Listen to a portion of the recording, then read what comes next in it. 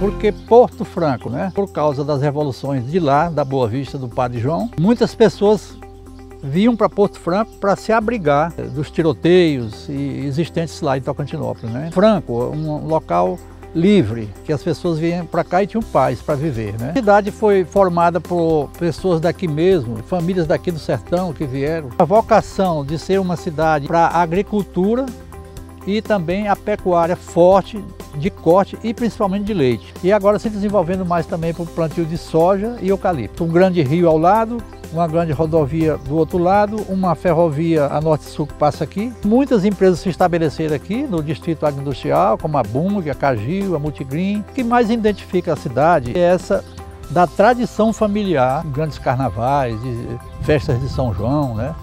um grande Réveillon.